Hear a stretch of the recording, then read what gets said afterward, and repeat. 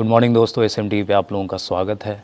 आज मैं एक ऐसी कंट्री के बारे में बात करना चाहता हूँ जहाँ पे बहुत सारी रूल्स एंड रेगुलेशंस हैं जहाँ पे आप खुलकर आज़ादी से अपनी ज़िंदगी नहीं बिता सकते। जी हाँ दोस्तों, मैं बात कर रहा हूँ नॉर्थ कोरिया की, जहाँ के जो सुप्रीम लीडर हैं किंग जोंग उनके फादर किंग जोंग इल का एक्सपायर सेवनटीन दिसंबर 2011 को हुआ था और उनके टेंथ डेथ एनिवर्सरी पर जो वहाँ के जो रूलर हैं, जो उन्होंने जो एक डिसीज़न लिया है जो अपनी कंट्री के लिए, वो काफ़ी वो काफ़ी डिसपॉइंट करता है वहाँ के पीपल को। तो चलिए इसके बारे में बात करते हैं और आपको पूरी जानकारी देते हैं।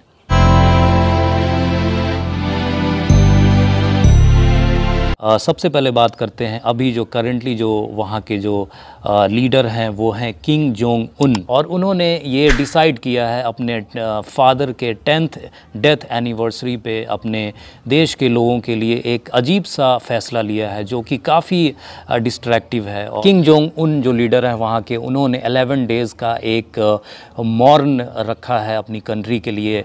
और इस पीरियड में आप न हंस सकते हैं न बोल सकते हैं न आप अ, शॉपिंग कर सकते हैं। बहुत सारी चीज़ें हैं जो वहाँ की जो गवर्नमेंट ने डिसाइड किया है। दोस्तों किंग जोंग इल जो कि किंग जोंग उनके फादर हैं, उन्होंने 1994 से लेके 2011 तक इस कंट्री को रूल्ड किया और at the ages of 69 heart attack से उनका उनकी डेथ हुई और इस टेंथ एनिवर्सरी पर उनके बेटे किंग जोंग उन ने एक फैसला लिया है कि वो अपने पापा के गम में देश के लोगों के लिए एक अजीब गरीब फ़ैसला लिया है जो कि एक बहुत ही टफ़ डिसीज़न है और वहाँ के लोग, आप इस पीरियड में आप न हंस सकते हैं, ना खुशी का इजहार कर सकते हैं, ना शादियाँ कर सकते हैं। अगर डेथ किसी की हो जाती है तो आपको ऊँची आवाज़ में रोना भी नहीं है। ये भी बड़ा अजीब सा एक डिसीज़न है वहाँ की गवर्नमेंट्स का। बात करें अगर नॉर्थ कोरिया फाउंडर की तो किम इल सुंग जो हैं, वो नॉर्थ कोरिया के फाउंडर थे और किंग जोंग इल के वो फादर थे। तो उनके डेथ उनके डेथ पर सेवन डेज़ का मौन रखा जाता था और अ, उनके बेटे के बेटे के डेथ एनिवर्सरी पर टेन आ, टेन डेज़ का मौन रखा जाता है। प्रीवियस जो है वो टेन डेज़ का मौन रखा जाता था। इस साल एलेवन डेज़ का मौन रखा गया है। तो इस एलेवन डेज़ में आप अ, न खुलकर हंस कर हंस सकते हैं ना रो सकते हैं ना आप शॉपिंग कर सकते हैं और इस दौरान अगर आप अगर आप पकड़े गए अगर आप पकड़े गए तो आपको, आपके ऊपर काफ़ी काफ़ी कुछ आपके ऊपर का, काफ़ी कुछ स्ट्रिक्ट कार्रवाई की जा सकती है और वहाँ वहाँ की गवर्नमेंट काफ़ी कुछ एक्शन, लीगल एक्शन आप पे ले सकते हैं। तो ये जो कंट्री है, ये हमेशा से चर्चे में रही है। जैसा कि आप जानते हैं कि वहाँ की जो गवर्नमेंट है, वहाँ पे आप अमेरिकन फ़िल्म देखना वहाँ पे मना है। अमेरिकन फ़िल्म अगर आप देखते हैं तो आपको फांसी की सज़ा हो सकती है और अगर आप इंडियन मूवी वहाँ पे देखते हैं तो आपको जेल हो सकती है। तो वहाँ पे बहुत सारी चीज़ें हैं जो आपको आप खुलकर नहीं कर सकते। वहाँ की जनता परेशान है लोग परेशान हैं। मान लीजिए कि आपने कोई क्राइम किया है और आप ऑफेंडर हैं और आपको सज़ा मिलेगी उसके साथ आपको थ्री जनरेशन तक आपको सज़ा मिलेगी। ये काफ़ी स्ट्रिक्ट रूल हैं वहाँ के नॉर्थ कोरिया की। अ, मैं इस चीज़ से इतफाक़ नहीं रखता कि वहाँ के लोग कैसे अपना लाइफ स्पेंड करते होंगे ऐसे डिक्टेटरशिप में और ऐसे स्ट्रिक्ट डिसीज़न में वो कैसे अपना लाइफ को कैसे इंजॉय करते होंगे, ये काफ़ी डिफ़िकल्ट डिसीज़न है वहाँ की सरकार के लिए। और तो दोस्तों, ये ये काफ़ी कुछ दर्शाता है कि वो अपनी फैमिली से बहुत प्यार करते थे और अपने फादर की डेथ एनिवर्सरी पर क्या बहुत सारे उन्होंने स्ट्रिक्ट डिसीज़न लिया। कोई दोस्तों कि जब तक आपको ये, जब जब तक आपको ये वीडियो मिले, हो सकता है कि ये बैंड ख़त्म हो जाए। और और जैसा कि आप जानते हैं कि नॉर्थ कोरिया हमेशा चर्चे में रही है और